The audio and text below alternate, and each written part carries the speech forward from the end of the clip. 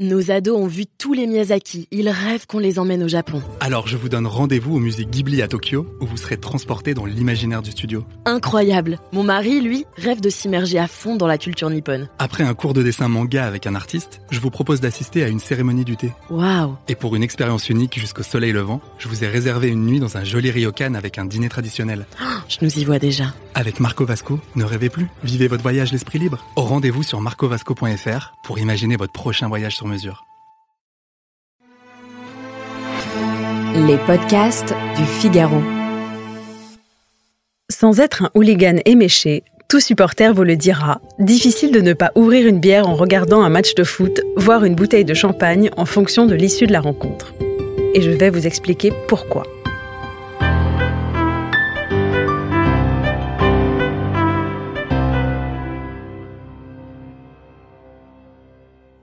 Avez-vous déjà entendu parler de Giacomo Rizzolatti?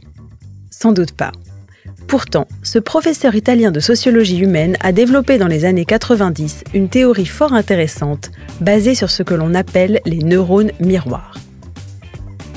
Le principe est simple.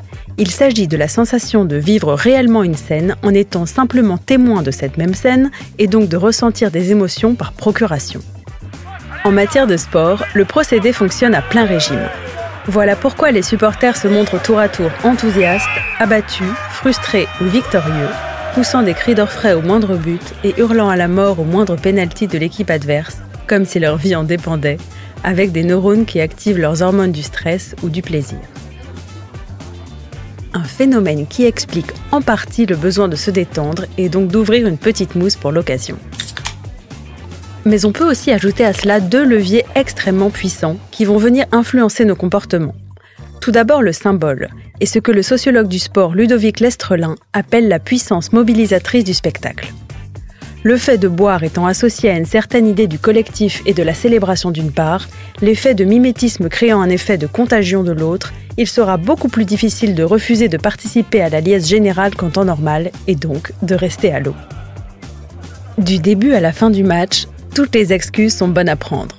Calmer son stress dans un premier temps, se donner du courage à la mi-temps, sabrer le champagne en cas de victoire et soulager son chagrin au vin rouge en cas de défaite.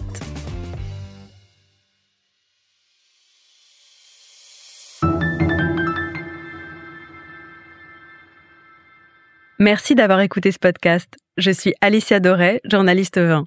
Vous pouvez retrouver Parlons Vin sur Figaro Radio, le site du Figaro et toutes les plateformes d'écoute. Si vous avez aimé cet épisode, n'hésitez pas à vous abonner et à laisser votre avis. À bientôt!